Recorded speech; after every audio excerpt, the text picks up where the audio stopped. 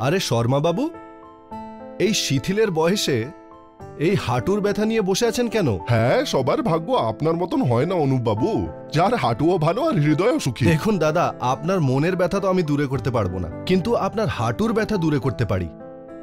এটি হলো অর্থবাম এটি লাগান এবং প্রত্যেকটা ব্যথার থেকে মুক্তি পান। আপনি কারোর মনের ব্যথা তো কম করতে পারবেন না কিন্তু হাঁটুর ব্যথা তো কম করতে পারেন। প্রত্যেক ব্যথাকে করে বিফল। ডি মার্ক অর্থবাম কার্টুন টিভি।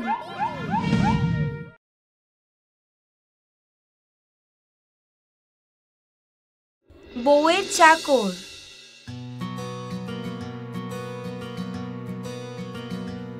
কোনো একটা গ্রামে চন্দু নামের একটা ছেলে থাকতো।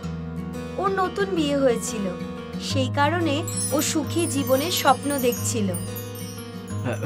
সুনিতা? হ্যাঁ বলো।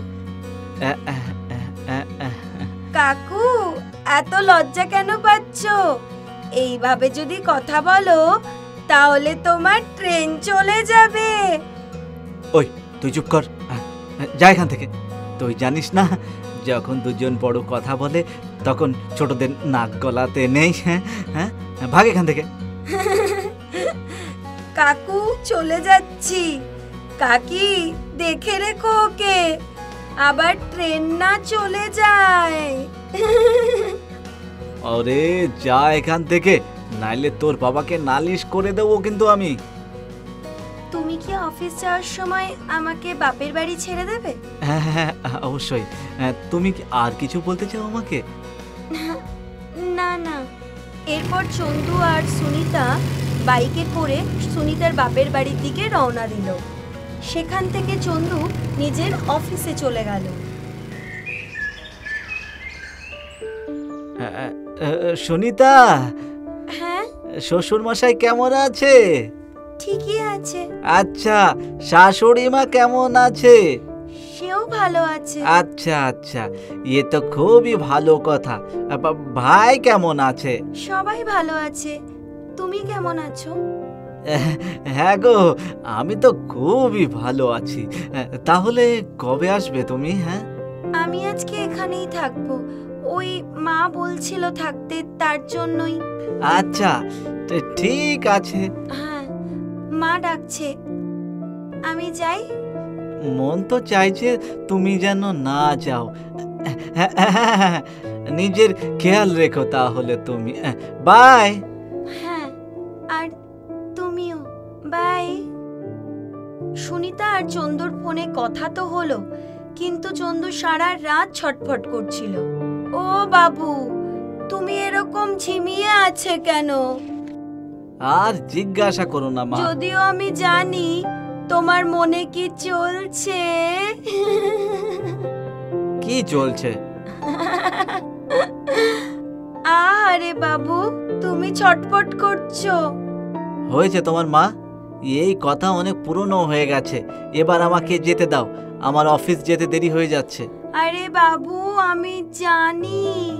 বৌমার জন্য তোর মনটা একেবারেই ভালো নেই।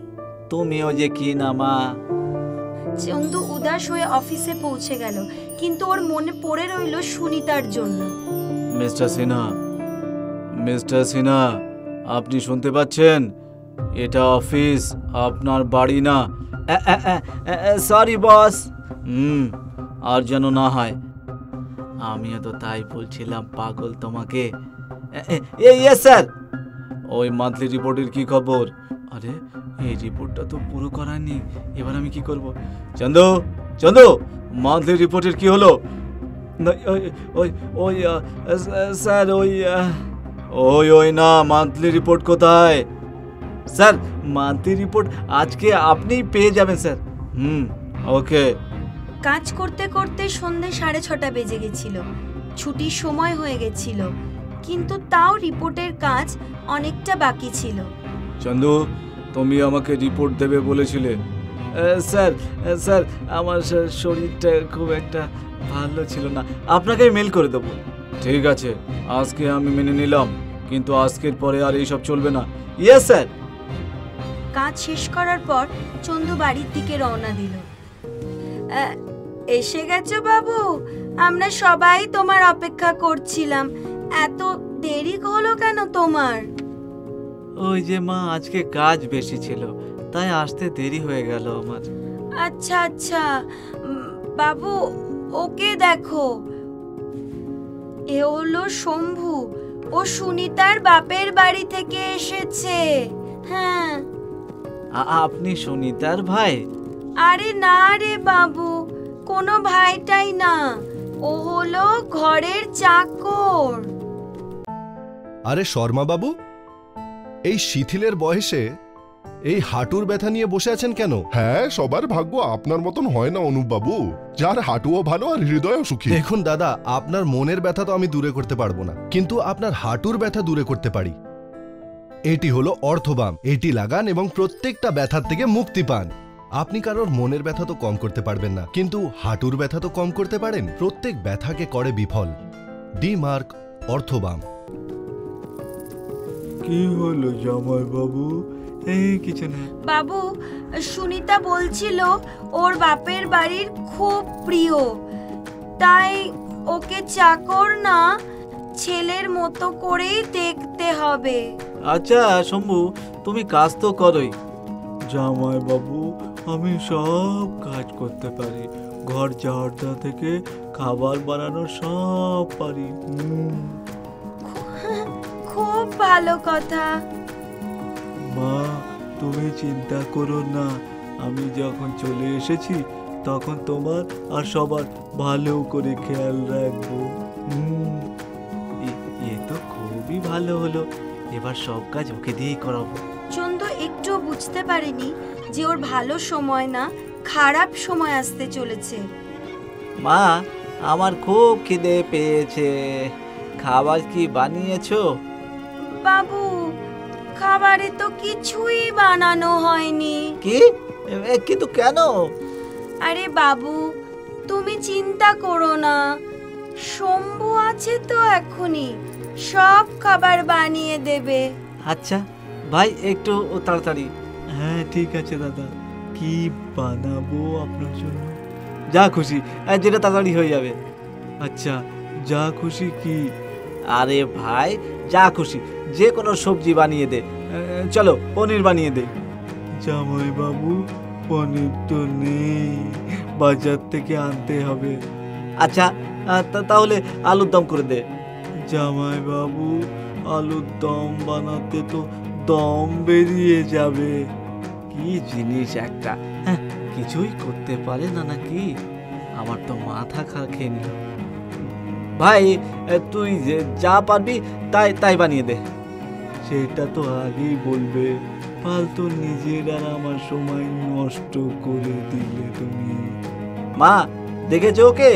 মুখে মুখে তর্ক করছে।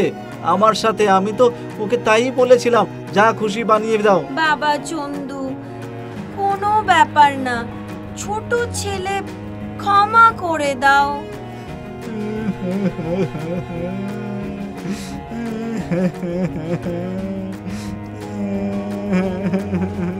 আরে বাবা কি হলো তোমার? কাঁদছো কেন? আহা আরে সুনিতা তুমি কেন কাঁদছো? শম্ভুকে বকলে আমার সেটা ভালো লাগেনি। ও ও প্রথম কথা তুমি কেঁদো না আমার সেটা ভালো লাগে না। আর তুমি শম্ভুকে শুধু বলেছিলাম যা ইচ্ছে তাই খাবার বানিয়ে দাও। শম্ভু কাছ থেকে বাঁচার জন্য এরকমই একের পর এক ফন্দি বের করতে লাগল।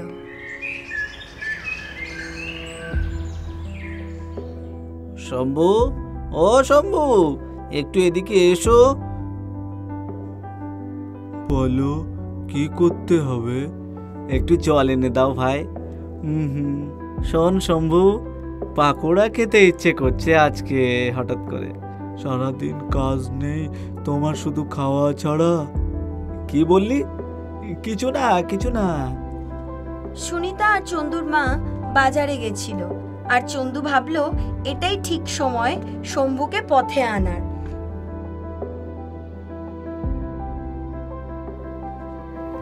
এইভাবেই চন্দু শম্ভুকে দিয়ে কাজ করাতে লাগল। তখন চন্দু শম্ভুকে বলল, ভাই শম্ভু, তুমি কত কাজ করো।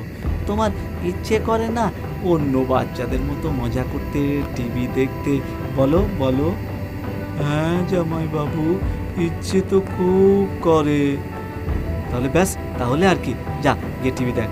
যা যা, আরাম করে পাকোড়া খা।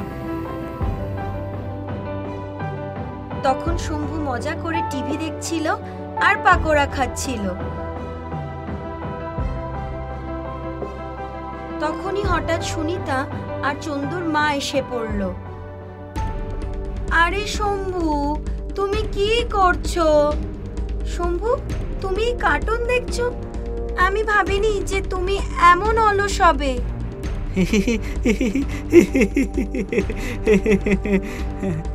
দিদি মা এইসব আমি করিনি। তুমি করনি তো কে করেছে? আমাকে বোকা বানাবে না। তুমি তো আমার মাথা লজ্জায় নিচু করে দিয়েছ। কিন্তু দিদি। কোনো দিদি টিদি না আমি। যাও তুমি এখান থেকে। মা বাবাকে আমি তোমার নালিশ করব।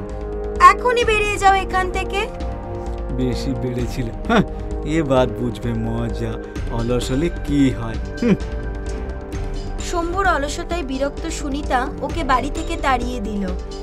তাতে চন্দু খুবই খুশি হলো, কিন্তু তার এই খুশি বেশি দিন পর্যন্ত রইল না, কারণ এখন সব কাজ ওর নিজেকেই করতে হচ্ছিল। যদি আমাদের ভিডিওটি আপনার ভালো লেগে থাকে, তাহলে এটিকে লাইক করুন, চ্যানেল সাবস্ক্রাইব করুন এবং আমাদের কার্টুন শোজ সবার প্রথমে দেখার জন্য বেল আইকন প্রেস করতে ভুলবেন না। আপনি কারোর মনের ব্যথা তো কম করতে পারবেন না, কিন্তু হাঁটুর ব্যথা তো কম করতে পারেন। প্রত্যেক ব্যথাকে করে বিফল। D mark অর্থবাম।